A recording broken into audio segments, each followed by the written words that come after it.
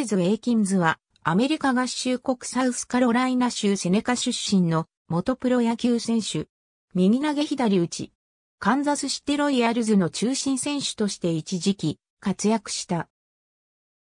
現役引退後の1994年にクラックコカイン販売の罪4件とコカイン販売時の銃器使用の罪1件で懲役20年の判決を受けて服役し、2008年の連邦量刑ガイドライン改正により釈放された。貧困の家庭で生まれ育った。学生時代は野球のみならず、サッカーやバスケットボールでも結出した才能を発揮した。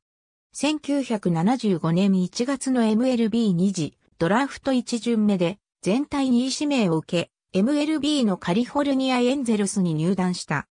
1977年5月17日の対ボストンレッドソックス戦で MLB デビュー。1979年はエンゼルスの小一塁手に定着し、打率280.21本塁打、81打点を記録した。しかし、12月6日にトレードでカンザスシテロイヤルズへ移籍した。1980年は打率278.20本塁打98打点の成績で本塁打数と打点数はジョージ・ブレッドに次いでチーム2位を記録した。この年のロイヤルズはリーグチャンピオンシップシリーズでニューヨークヤンキースを3連勝で下し、フィラデルフィア・フィリーズとのワールドシリーズに進出を果たした。エイキンズはワールドシリーズの第1戦と第4戦で2本塁打ずつ放ち、6試合で打率400を記録したが、チームは2勝4敗でワールドチャンピオンを逃した。同一シリーズで1試合に本塁打を2度記録している選手は他に2009年のチェイス・アトリーのみである。1983年に規定打席未到達ながら125試合出場で打率302.23本塁打72打点を記録した。オフにコカイン所持の容疑で逮捕。11月17日に有罪判決を受け、チームメイトのウィリー・ウィルソン、元チームメイトのバイガ・ブルー、ジェリー・マーティンと共に懲役3ヶ月を言い渡された。12月20日にロイヤルズがトロントブルージェイズとの間でトレードを成立させ、ブルージェイズへ移籍した。MLB コミッショナーのボーイ・キューンから1年間の出場停止処分を受けたが、その後に処分が見直されて1984年5月15日に復帰した。1984年は93試合に出場して打率205.11本塁打に終わった。1985年はシーズンのほとんどを参加トリプル A 級シラキュースで過ごした。また、ピッツバーグ薬物裁判に関連して大陪審に召喚されて証言した。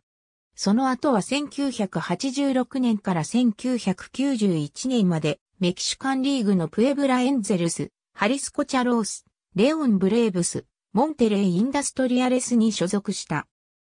1986年オフに日本プロ野球のヤクルトスワローズがエイキンズの獲得を目指し、エイキンズ自身も日本でのプレーに興味を持っていたが、交渉直前になってヤクルト本社から健康を売り物にしている会社。企業イメージが悪くなるという懸念が指摘され、解雇する予定だったマーク・ブロハードは残留、入団は幻に終わった。エイキンズは1991年から1994年までドラッグを常用していた。